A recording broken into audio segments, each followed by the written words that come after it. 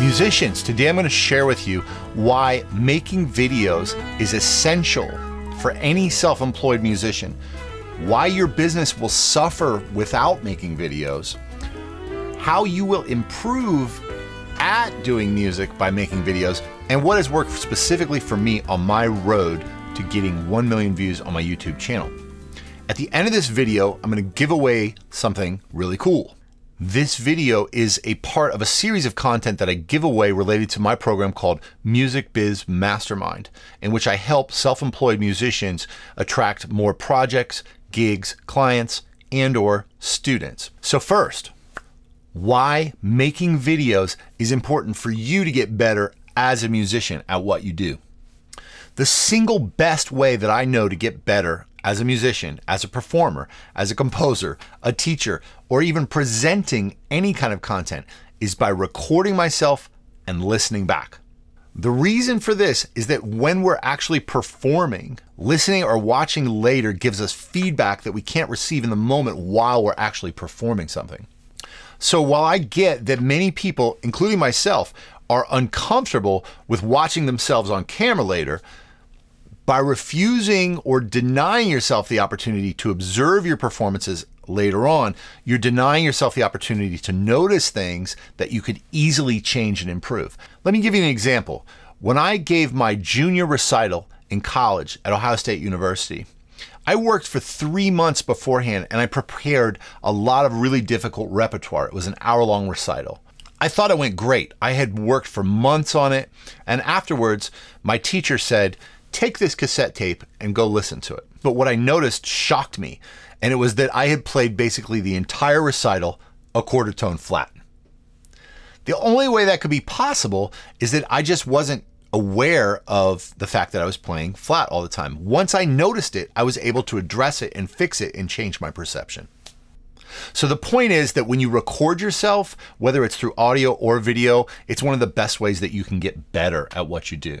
So now, why your career will suffer if you don't have videos. In short, you're going to lose out on opportunities because people will not hire you when they can't learn more about the thing you do or who you are via video.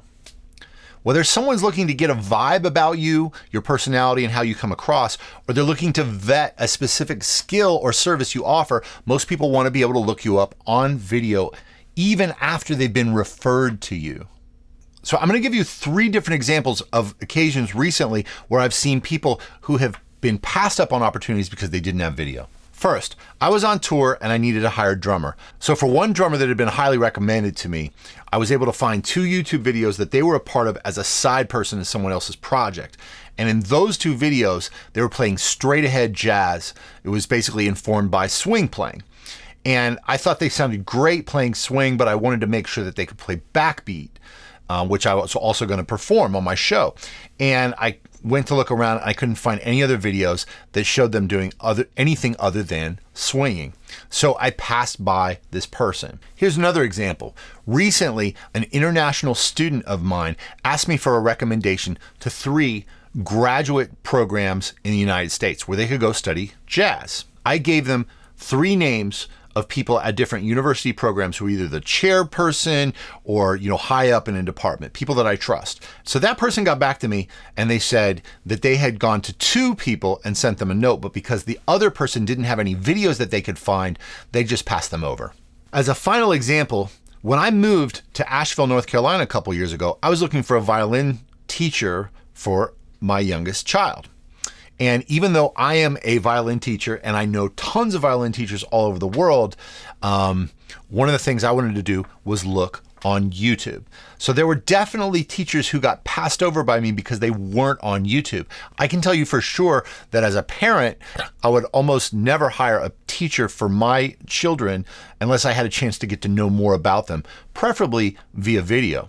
I could give countless more examples, but suffice it to say that if people can't find you on YouTube, they are passing you over, even if you're getting referred to them by people that they trust. Not only that, but you're also missing out on the opportunity to be discovered by people who are searching for you in a certain location, such as saxophonist in Boise, Idaho, or piano teacher in Iowa City. So, briefly, I want to share some of the things that you can show on video and that you should show on video and why.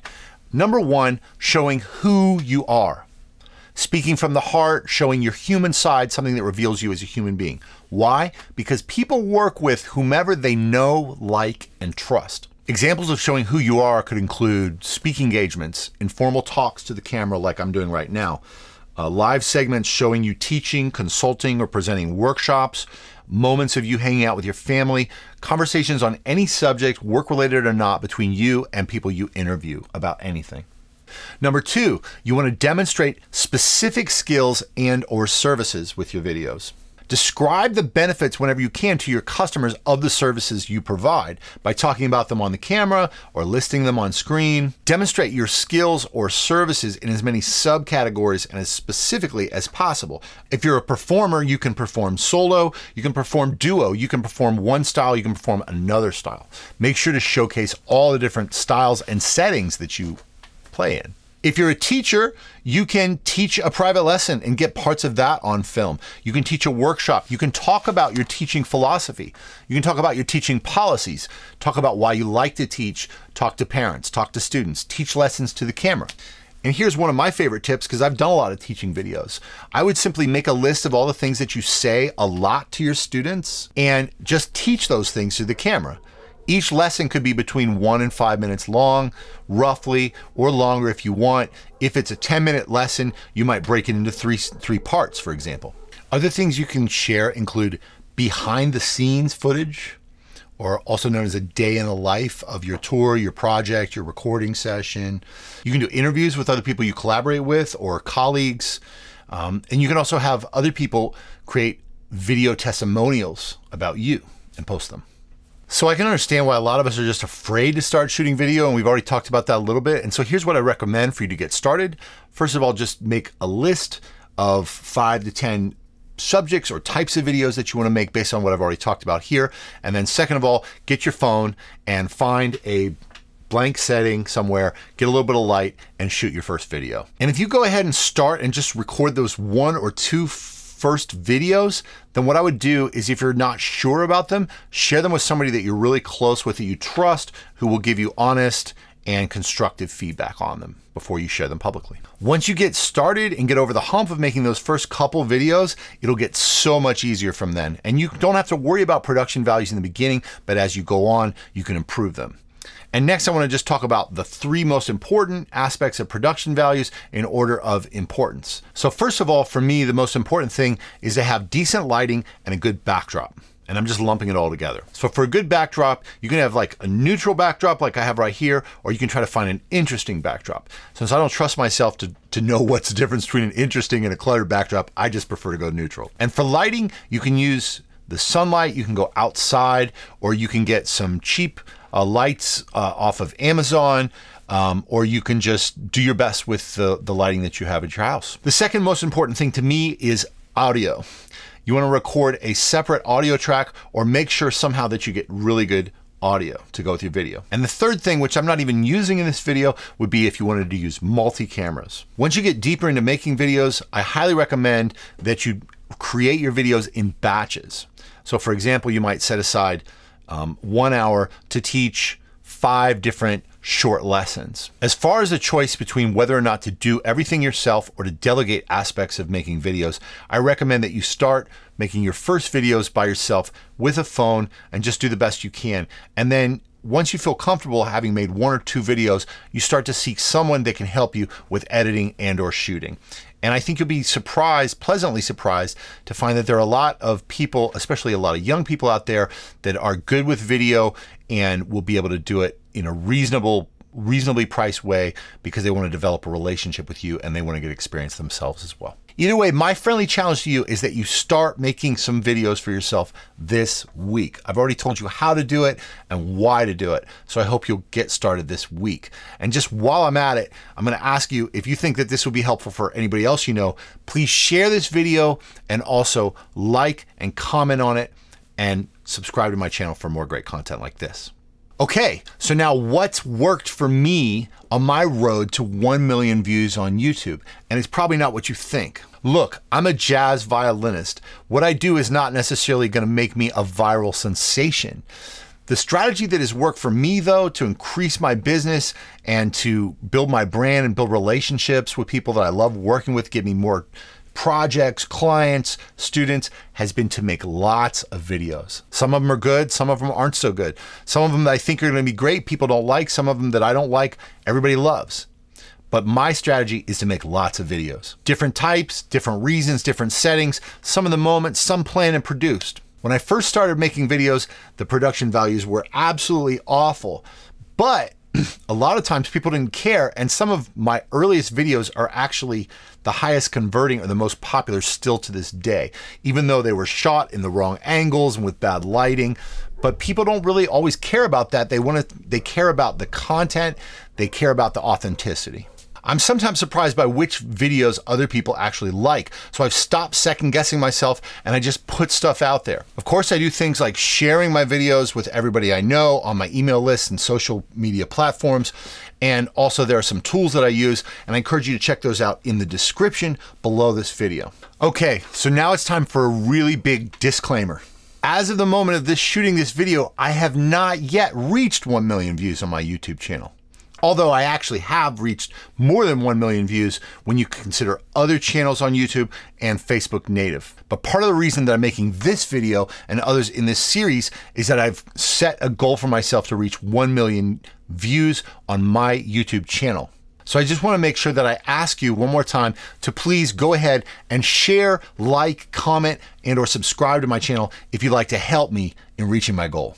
And in the meantime, it's not just about getting those million views. It helps me create more opportunities by developing more meaningful connections with people. And I get to share and improve my own creative work as a musician and as a speaker or teacher this way. Now, I get that social media and sharing content isn't for everybody. There are a lot of people that feel that they want to keep things private, and so they don't even like the idea of social media. My wife isn't even on Facebook. I totally respect that. But this is the distinction in my mind and why I approach it the way I do. See, I'm a self employed musician. So I look at social media as a way to build my brand and create opportunities. If I worked for another company, I wouldn't feel the same importance to have to share so many things about myself. But I am my brand, and people are going to work with me based on whether they know, like, or trust me. So to me, this is all about business. And business is what helps me to essentially live the dream that I have as a musician. So by doing business, by getting more opportunities for people to connect with you, to hire you, getting more gigs, projects, students, that's what's going to help you to reinvest into your music and whatever sort of lifestyle that you want to have. If you've watched this far in my video, or if you've seen any of my other videos, chances are that you have a better sense of who I am now, and you're more likely to want to learn about my music business consulting services. You might want to sign up for my free course, get on the phone to talk with me about your career, or even join my mastermind group. The point for me is not actually whether or not millions of people watch my videos, but rather just that you're watching my video. And that this gives me a chance to provide value to you upfront and develop a basis of trust. I want to double down on this point because chances are part of the reason you don't make videos currently is because you're worried about how embarrassed you'll feel when your YouTube channel shows a view count of four people who watch your video. But that's the point. It's not about how many people watch your videos. It's about having the ability to show the right people when the time is right what they need to know about you and or your services. Okay, so we've made it to the end of this video and I told you that I was going to give away something cool. First, I'd really appreciate it if you would subscribe to my YouTube channel. Just look for the little icon of me on this video. Thanks so much for watching. Until next time.